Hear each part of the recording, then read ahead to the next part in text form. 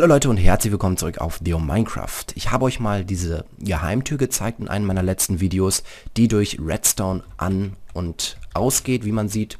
So, und da habe ich ganz primitiv hier einen Schalter benutzt. Allerdings möchte ich euch heute eine Möglichkeit zeigen, wie man diesen Schalter verstecken kann, wie ihr sozusagen einen versteckten Öffnungsmechanismus äh, machen könnt. Und seht ihr hier irgendwie eine Möglichkeit, die Tür zu aktivieren? Natürlich nicht. Und ich kenne die Möglichkeit. Und zwar Gehen wir in diese Ecke, gehen wieder raus und wir sehen, die Tür hat sich geöffnet. Wir gehen nochmal in die Ecke, gehen wieder raus und wir sehen, die Tür schließt sich. Meine Güte, ist das Magie? Nein, ist es nicht. Die Technik dahinter ist sehr leicht und ich zeige euch heute, wie es geht. Das soll jetzt unsere Ecke sein und zunächst fangen wir an, dass wir nun diese Ecke erstmal ausgraben, bis auf den letzten Block hier unten, wo wir eine Schiene rin, äh, rin, äh, reinlegen. So, je nachdem, in welche Richtung jetzt die Schiene guckt, bauen wir das entweder, was ich jetzt gleich baue, in die Richtung oder, wenn sie in die Richtung guckt, in die Richtung. Alles klar soweit? Juhu, weiter geht's.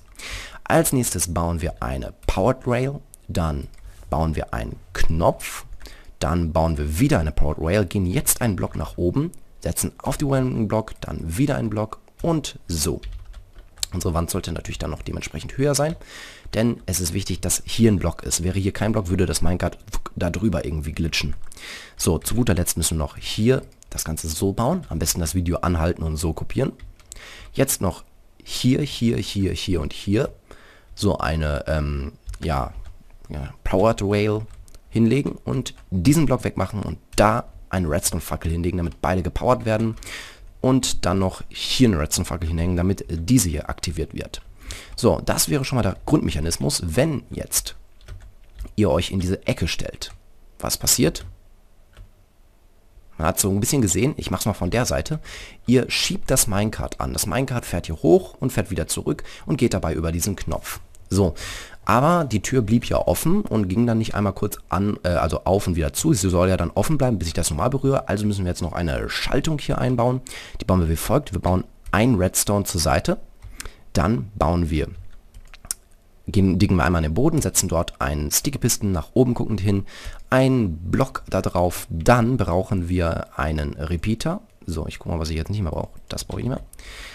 Setzen den so hin dann einen Sticky Piston, egal in welche Richtung, und einen Redstone Block davor und fertig. Was passiert ist, jedes Mal, wenn das Ding nun aktiviert wird, wird der Block nach vorne geschoben oder wieder zurückgeschoben. Ihr seht, zack, der Block ist jetzt da. Und wenn ich jetzt das Minecraft aktiviere, zack, geht der Block wieder zurück. Warum? In den Pisten läuft ein ganz kurzer Impuls und der ist so kurz, dass ihr seht, wenn ein langer reingeht, geht er rauf und runter. Aber wenn der Impuls richtig kurz ist, dann lässt der Pisten den Block sozusagen hier los. Und wenn er nochmal richtig kurz ist, geht er wieder rein. Und dieses Teil hier sorgt dafür, dass der Impuls richtig kurz wird. Jetzt müsst ihr nur noch hier an dieser Stelle euer Redstone-Signal abzweigen. Das könnte dann irgendwo hinführen, wohin wollt. Ich mache das jetzt mal einfach ganz analog mit so einer Lampe. Und ihr seht, ich gehe in die Ecke, die Lampe geht an. Ich gehe nochmal in die Ecke, die Lampe geht aus. Und bei dieser Schaltung hier ist der Block hier an dieser Stelle. Strom läuft in die Tür, die Tür ist zu. Und wenn ich jetzt hier reingehe an die Seite, zack, Strom läuft rein, die Tür ist offen. Das ist alles, was ich euch zeigen wollte. Ziemlich cooles, praktisches Design.